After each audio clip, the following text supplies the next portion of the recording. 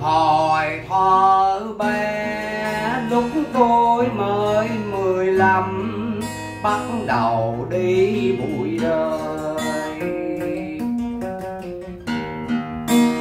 Nhà thì đông, ba má phải làm công để trang trải cuộc sống. Tương lai, tôi thấy quá xa vời.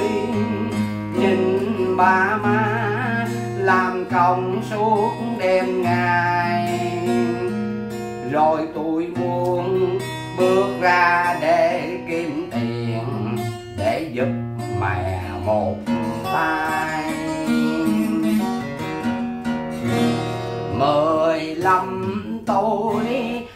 không biết phải làm sao để tìm ra đồng tiền.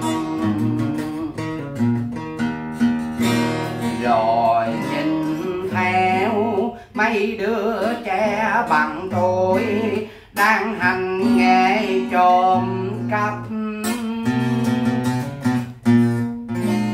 Khi trộm xong, tôi thấy nó chia tiền rồi tôi bỗng lòng tham nổi nên liền. Rồi nhìn thấy chị kia có cái bóp tiền, tôi giật lần đầu tiên. Cướp lần đầu, rồi tôi thấy ngon ăn. Cái thứ hai dường như tổ đại cho mình. Rồi lần ba, mình chơi chiếc ép cha, bán hơn một cây. Có chút tiền rồi tôi bỗng ăn chơi. Gái bia ôm, rồi quên mất gia đình rồi ngày xuôi ngày xuôi đến với tôi bị bắt lên trên phường. Lập biên bản giải tôi vô trại giam, để chờ đưa đi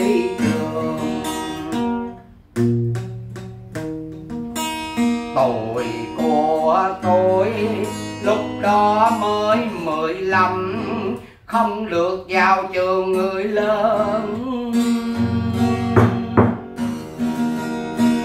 Tôi không khai bà má của tôi ra rồi công an cùng dài tôi tới cô nhi lòng thành. Mười chín tuổi lệnh tha tôi trở về, mới gặp lại mẹ.